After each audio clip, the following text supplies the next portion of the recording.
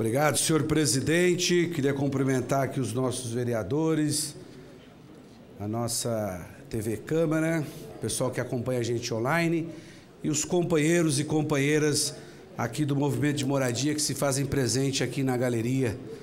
Muito importante a participação de vocês nesse, nessa importante discussão sobre aquilo que no começo a gente nomeou como revisão do plano diretor mas no transcorrer do percurso se tornou no novo plano diretor e esse plano diretor não carrega nele um olhar mais atento da cidade como um todo, das populações em vulnerabilidade e da, e, e da, e da questão de deslocamento pela cidade.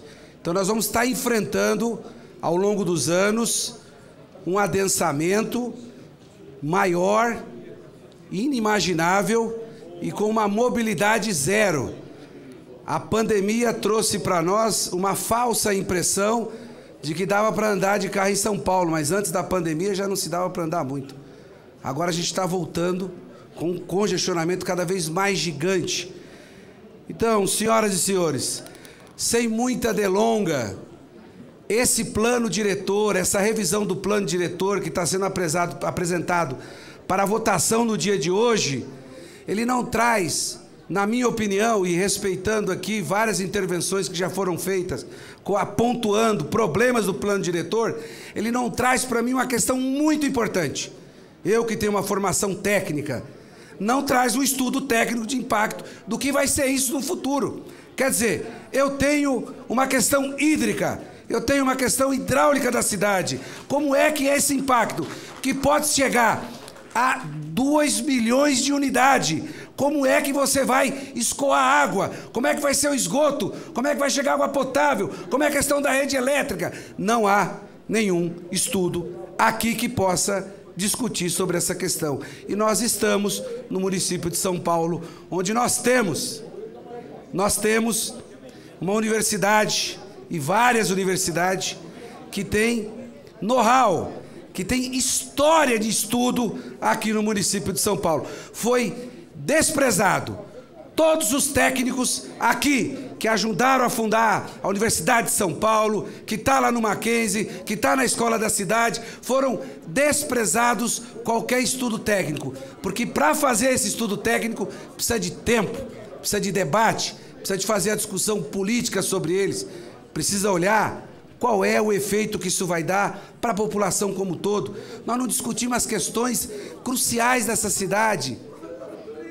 Vereador Elaine, lá na nossa querida São Mateus, na cidade de Tiradentes, ali na Hageb Schoff, antiga estrada do Iguatemi, que está sendo feito um monotrilho, que está criando um transtorno na nossa região muito grande.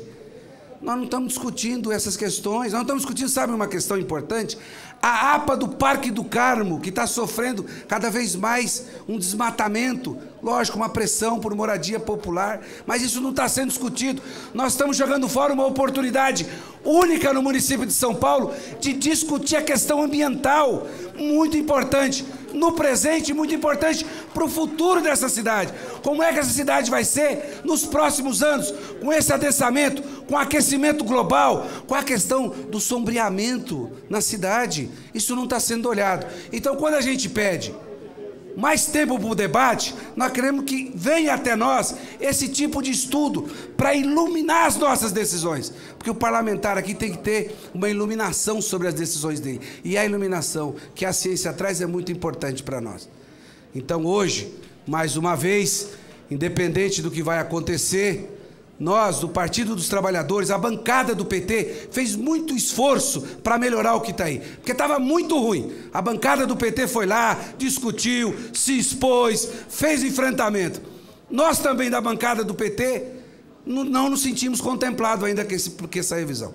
Nós queremos dizer o seguinte: que essa revisão não nos convenceu que essa cidade que a gente pensa para o futuro vai ser mais humana, vai ser menos desigual, menos racista, menos homofóbica. Então nós vamos continuar aqui cerrando fileiras e votando contra essa revisão do plano diretor. Obrigado, companheiros e companheiras.